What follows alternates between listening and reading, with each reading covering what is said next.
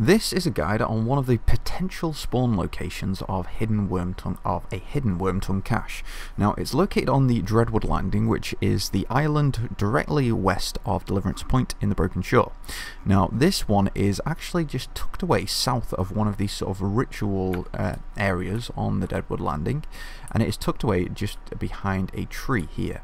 Now again I want to reiterate that these chests have no fixed spawn locations and are completely random. Um, this is just one of the places that you want to check if you are actually trying to farm these chests.